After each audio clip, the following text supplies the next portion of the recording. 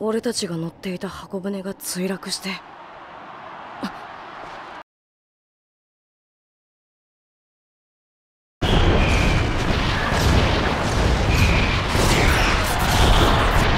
黒いのと白いのが戦ってる。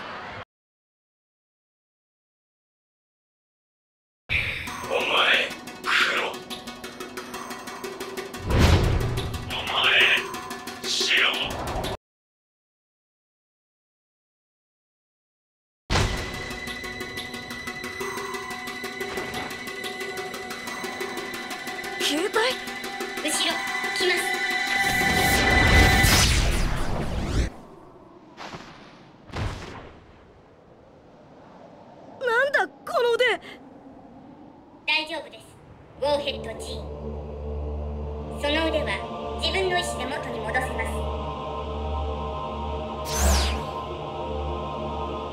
お前携帯だよな？よろしくお願いします。なんで俺の名前を？っていうかウォーヘッドってなんだ？どうやら記憶を一部失っているようですね。それではまず安全な場所へ移動しましょう。少し落ち着けば記憶は回復すると思われます